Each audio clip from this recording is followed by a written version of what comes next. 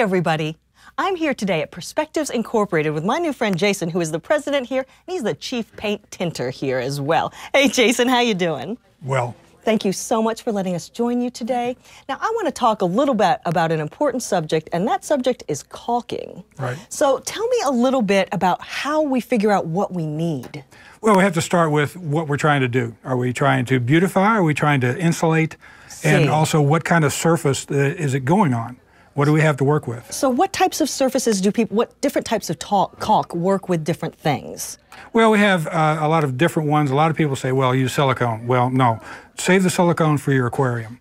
If you want something that'll do what silicone does, but without all the defects of silicone, then we have a product called Lexel, which is a clear product. It does everything silicone does without all the drawbacks. Uh, number see. one being silicone cannot be painted, and it's almost impossible to remove. So that's a product we'd use for like around windows and whatnot Right. uh, on the outside. And on the inside, we'd use uh, a, a product that's uh, here, it's elastomeric. And what that means is it'll stretch up to 800% without breaking. It'll go back to Oh, within wow. 98% of its original size. It's paintable, it's, it's water based, so you can tool it very easily. And it's very easy to apply, and it comes in a variety of colors. Well, well, speaking of colors, um, you all do something a little different here with caulk that not anyone else does. Right. We can actually custom make a color of caulk. You custom make it? Right. We have a special caulk that we put uh, your paint in, or we can make paint for you, latex paint.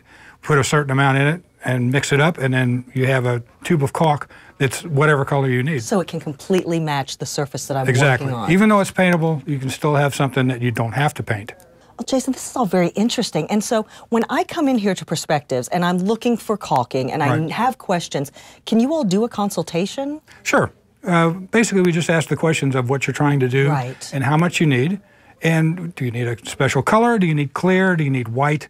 And, and we take it from there. So you can help us make the right decisions. That's what we're here for. Jason, thank you so much. Stop on down here to Perspectives Incorporated and get the help that you need with your home improvements.